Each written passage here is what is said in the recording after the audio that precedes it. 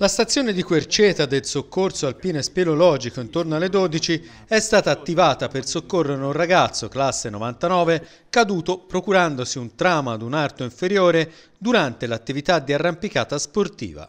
L'incidente è avvenuto nella falesia del Trittico, con Chiusari nel comune di Camaiore. L'attivazione da parte del tecnico di centrale operativa è arrivata alle ore 12.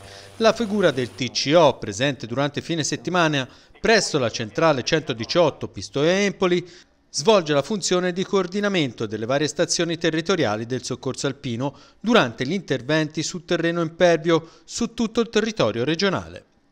La squadra di turno reperibile con il proprio sanitario è arrivata sul luogo dell'accaduto e ha prestato le prime cure al paziente. I tecnici hanno messo in sicurezza il ragazzo e lo hanno preparato al recupero tramite l'elicottero.